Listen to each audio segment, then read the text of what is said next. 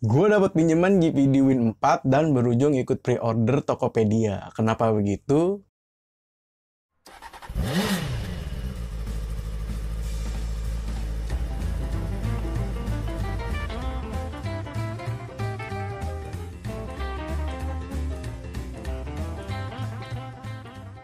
Halo teman-teman, balik lagi di channel Raja Kong sama Raja Kong sendiri di sini.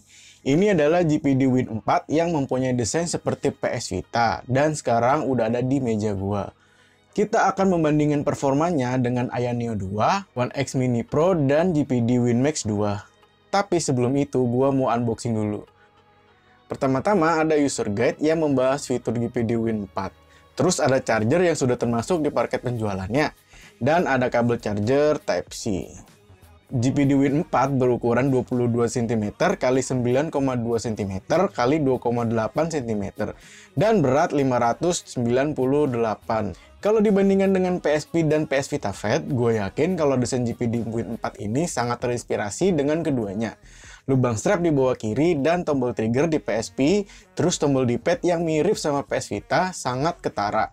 Tapi ada kesamaan yang lain. Layarnya layar sentuh IPS dengan luas 6 inci, dengan resolusi sebesar 1920 x 1080, dengan refresh rate 40 dan 60 Hz yang berguna buat kalian yang ingin menjalankan game pada 40 Hz.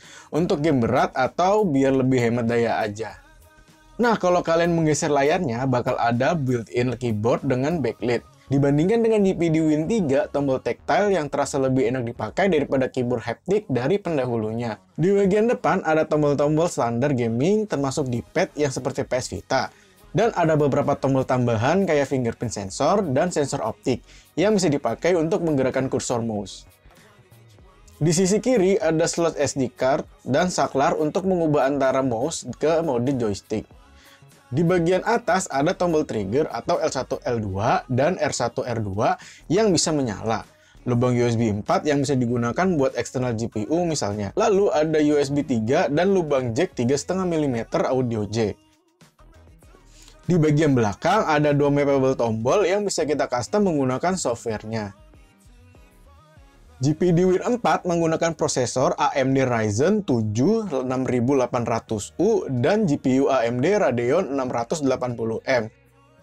Ada yang 16 dan 32 GB LPDDR5 RAM dan 1 TB atau 2 TB NVMe SSD untuk storage-nya.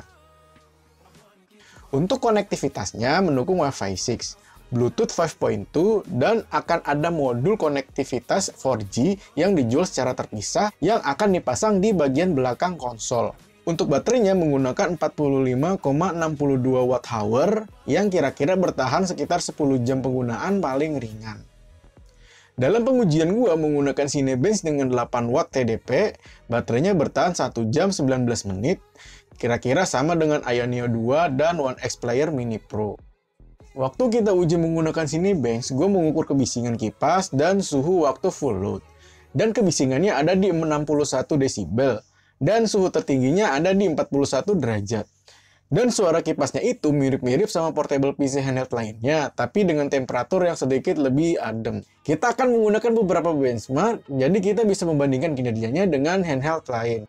Sebagai acuan, gue menggunakan 3D Mark, PC Mark, Cinebench, dan Crystal Dismark untuk mengetahui performa CPU, GPU, RAM, dan storage. Gue menjalankan semua tes di CDP 280W, jadi ayo kita lihat hasilnya. Di PC Mark, kita mendapatkan skor 5054 yang secara mengejutkan ini lebih rendah dari perkiraan gua. Untuk 3D Mark, skornya adalah 2788. Fire Strike 6691. Night Ride 25.667 dan itu semua adalah skor yang bagus banget. Di sini Benz skornya adalah 11.018 multicore dan di Crystal Dismark kecepatan read-nya bagus di 2091 dan kecepatan write-nya itu sampai dengan 1942 MB per detik. Dan overall skornya cukup bagus. Tapi speknya itu lebih rendah daripada Aya 2, One X Pro, dan GPD Win Max 2. Dalam pengujian gaming, kita uji dari 3 TDP di 11, 20, dan 28 watt. Konsol handheld ini mempunyai layar 1920 x 1080 yang berarti dia punya resolusi 720p. Sementara saingannya yaitu Aya Neo 2 dan One X Pro mempunyai resolusi 1200p dan 800p. Jadi pasti ada perbedaan kinerjanya karena resolusi layar yang lebih rendah di GPD Win 4. Kita mulai dari Forza Horizon 5. Dengan settingan grafis very low pada 29 Watt 1080p bisa menjalankan frame rate rata-rata di 38 fps. Pada resolusi 720p, frame rate rata-ratanya ada di 115 fps. Di TDP 20 Watt itu 79 fps dan di 11 Watt kita dapat 46 fps rata-rata. Lalu kita coba Shadow of Tomb Raider di settingan very low.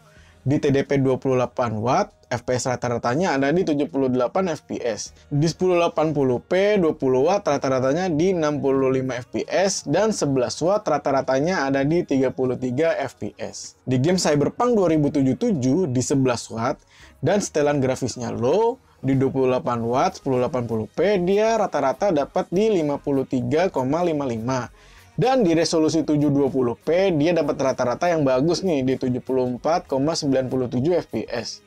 1080 di 20 watt rata-rata di 47,16 dan 11 watt di 22,06. Dan benchmark yang terakhir kita mencoba di Call of Duty Modern Warfare 2. Di resolusi 1080 28 watt rata-ratanya ada di 71 fps. Dan di 720 kita mendapat 3 digit nih, rata-rata 101 fps. Kalau resolusinya 1080 di 20 watt, kita mendapatkan rata-rata di 64 fps. Dan 11 watt rata-ratanya adalah di 37 fps. Nah, ini adalah ringkasan singkat dari hasil benchmark gamenya.